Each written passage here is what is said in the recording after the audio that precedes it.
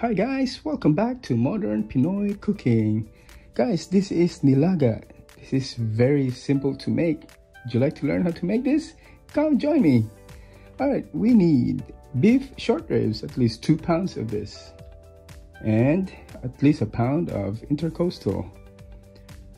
And some king oyster. Drop it in. Oop.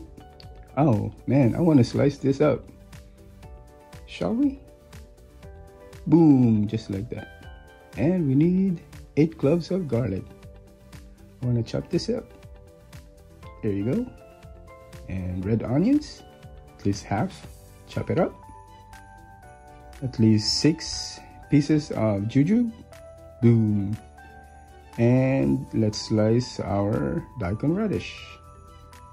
Alright, let's start cooking. Fresh oil, then let's saute our onions and garlic. At least two minutes. Add in our beef short ribs. Give it a good mix. There you go. Then after that, we're going to add our intercoastal beef. And I'll cook this for another minute or so and then add some black pepper and salt. Give it a mix then add in some filtered water in it.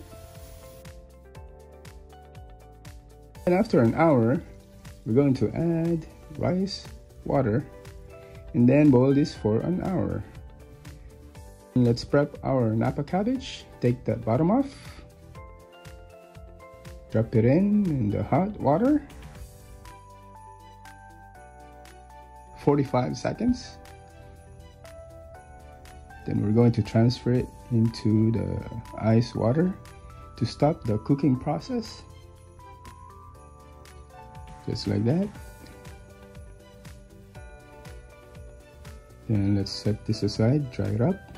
Our secret ingredients for this emperor's nilaga are some dried angelica. And these ones. I'll put in the description below. But first we need to soak this in for 20 minutes before we add it into our broth. Cook this at least 20 more minutes in low heat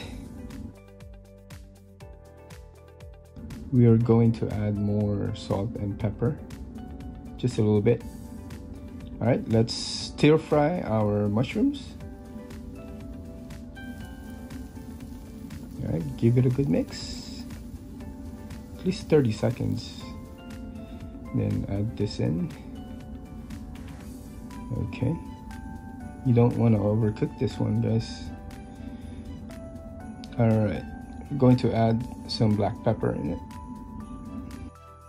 we're going to roll them up into our Napa cabbage. Just like that. We need at least 10 of this. There you go. Look at that. It looks pretty right? Okay. Down for our daikon radish. Cook this for three minutes before we add in our Napa cabbage you know what guys? We are done with this. There you go. Hmm, who wants a plate of rice guys? Look at that, you can add more soup in there. Mmm, looks really good. Alright guys, if you like this video, please give it a thumbs up and share it with your friends. And don't forget to subscribe. Thank you for watching. Bye.